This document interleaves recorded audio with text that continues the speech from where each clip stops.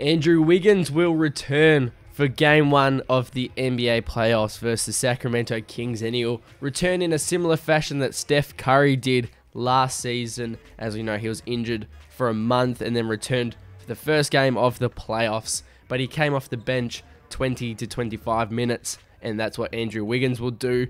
Obviously, he needs to get his conditioning up. He has been working out every day outside of Warriors practice when he was away from the team, but now obviously game conditioning is a lot different.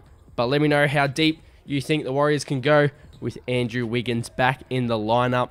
It's going to be exciting to see. I'm glad he's okay and everything's all right at home and with his family and all that, and he can return to the court.